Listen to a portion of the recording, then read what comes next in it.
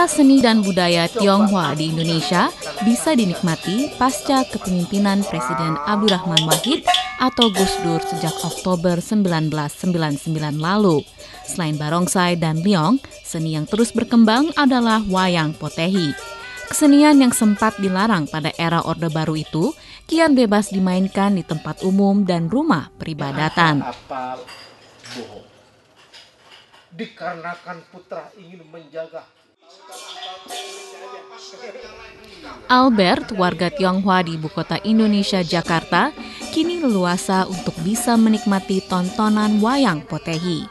Sebelumnya, ia kerap menonton pada beberapa tahun saja saat ia kecil di tahun 1960-an. Namun, sejak pemerintahan Orde Baru yang dipimpin Soeharto berkuasa di tahun 1967, pertunjukan wayang potehi mati suri. Padahal, wayang potehi menjadi benang merah yang kuat antara keturunan Tionghoa di Indonesia dan leluhurnya di Tiongkok. Di era Presiden Abdurrahman Wahid atau Gus Dur, wayang potehi kembali bangkit. Terus setelah zaman Gus Dur baru lebih banyak lah di kelenteng-kelenteng pada perayaan-perayaan tertentu dia keluar. Iya ceritanya ya kebaikan-kebaikan aja semua itu isinya. Kesatria, kebaikan, orang-orang yang harus berbuat baik lah.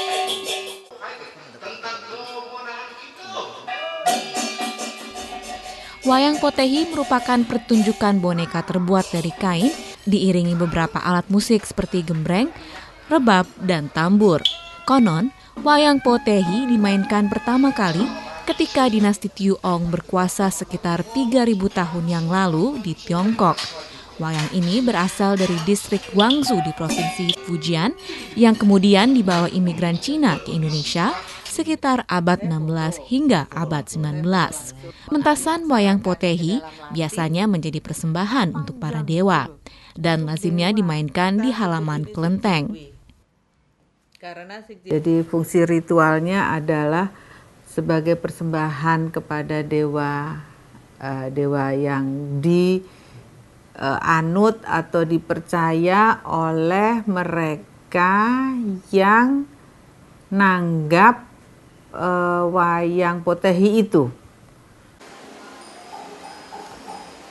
Salah satu tempat peribadatan yang kerap menanggap wayang potehi adalah Vihara Dharma Jaya atau Sintekbyo di daerah Pasar Baru, Jakarta.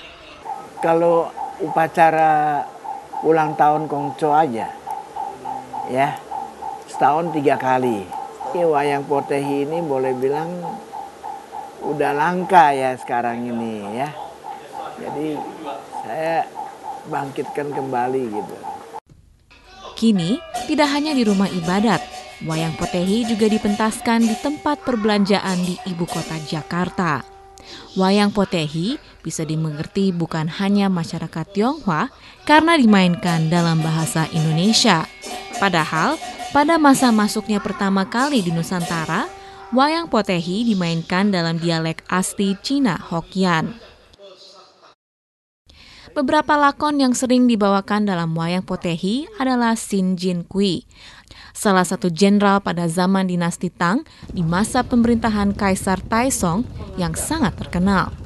Lakon yang kerap dimainkan sudah kini dipastikan menjadi tokoh-tokoh di dalam kesenian drama dan musik khas suku Jawa yakni ketoprak. Seperti misalnya tokoh Sin Jin Kuyang diadopsi menjadi tokoh Joko Sudiro.